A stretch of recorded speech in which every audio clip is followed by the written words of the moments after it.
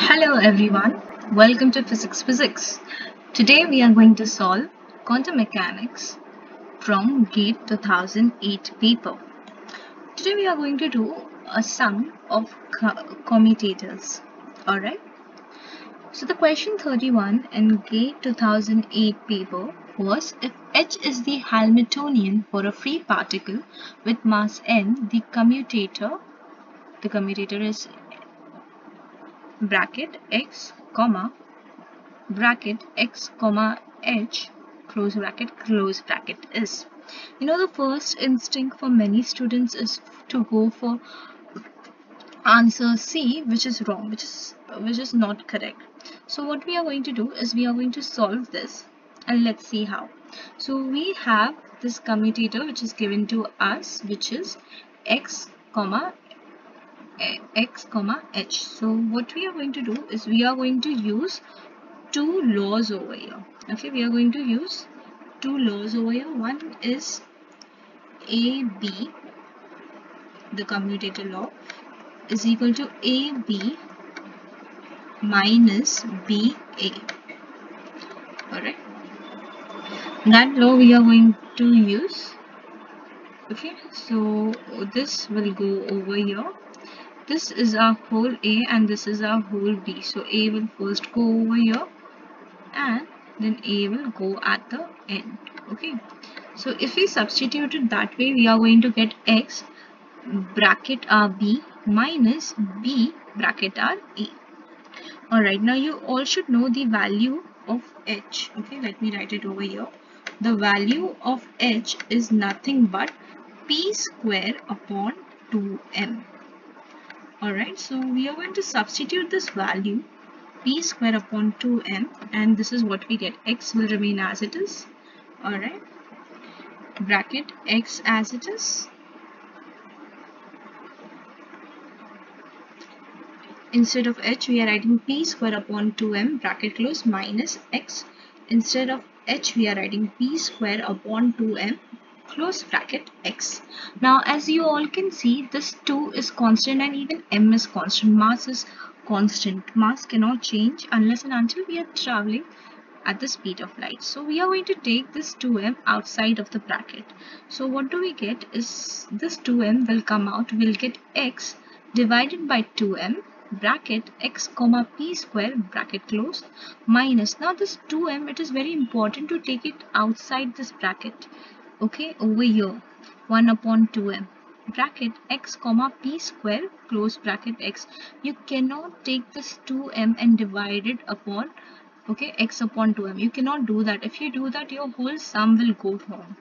It's against the commutator's law. Alright. Now the next step that we are going to do is this p square we are going to take the derivative of p square.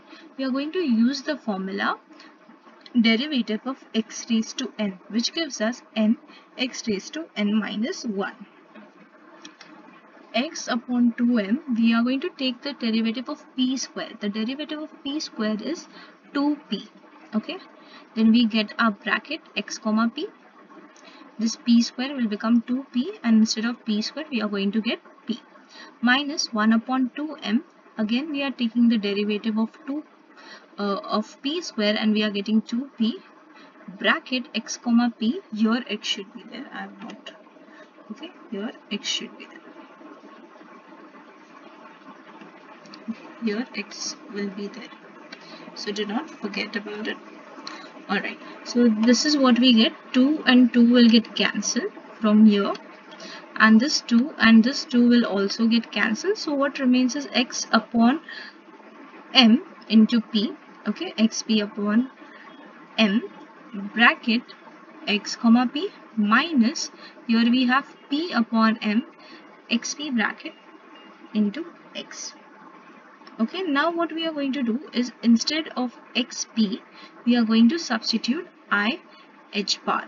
Okay this h bar is Planck's constant or h cut whatever you want to call it you can call it. So wherever I have x comma p this okay I'm going to write i comma h. Cut alright. So that's what I have done over here. Okay. Xp divided by m instead of the bracket xp I'm going to write IH minus p upon m IH cut into x. Okay. Alright. Now the next step is as you can see IH is common. Okay. IH and M is common. This term IH IH cut sorry IH cut and M is common. So what we are going to do is we are going to take it out. We are going to take it as common and the remaining stuff we are going to write it, write it in bracket. So I will get IH cut upon M XP minus PX now this stuff is nothing but your bracket x comma p when you use the reverse of bracket a, a bracket a comma b is nothing but ab minus ba so we are going to use that. And that's how we get xp now again we know that this value is nothing but what is this value? This value is i h cut. Okay? So we are going to substitute that. So I will get I h cut upon m. Instead of this I'm going to write I h cut. Now I square okay? Now when I take the square of I I'm going to get minus 1 okay? Minus 1 we all know that. So that's why I have minus h cut square upon m. So this is my final answer. So the correct answer is option B okay? Your option B is your correct answer. Thank you so much for watching this. Please like, share and comment. Thank you for coming to Physics Physics. Thank you.